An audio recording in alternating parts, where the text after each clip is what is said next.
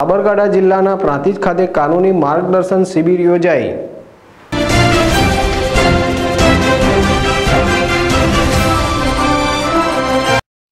પ્રાંતિજ ખાતે તાલુકા કાનૂની સેવા સમિતિ પ્રાંતિજના આદેશથી સેક્રેટરી પીઆર મોદીના માર્ગદર્શન હેઠળ પ્રાંતિજ કેળવણી મંડળ સંચાલિત જીઆઈએ આઈટીઆઈ કોલેજ પ્રાંતિજ ખાતે તારીખ પચીસ છ બે હજાર ઓગણીસને મંગળવારે કાનૂની માર્ગદર્શન શિબિર યોજાઈ હતી.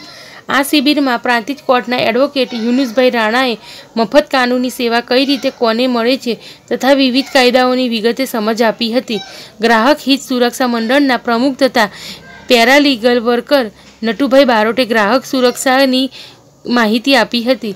આચાર્ય હેમંતભાઈ પટેલે જણાવ્યું હતું કે, વિદ્યાર્થીઓને ખૂબ જ માહિતીસભર કાર્યક્રમ હતો તથા અમારા વિદ્યાર્થીઓ આ કાર્યક્રમથી જાગૃત થયેલ હતા. કાર્યક્રમમાં વિવિધ કાયદાની જાણકારી માટેની પ્રશ્નોત્તરી પણ થયેલ હતી. સમગ્ર કાર્યક્રમનું સફળ સંચાલન તથા સ્વાગત અને આભાર વિધિ આર એમ વાઘેલા, એચ જે નાયક, એચ એસ કંટેસરિયા અને એસ ડી ઠાકરે કરેલ હતી. સંજય રાવલ જેડેશ ટીવી, પ્રાંતિજ.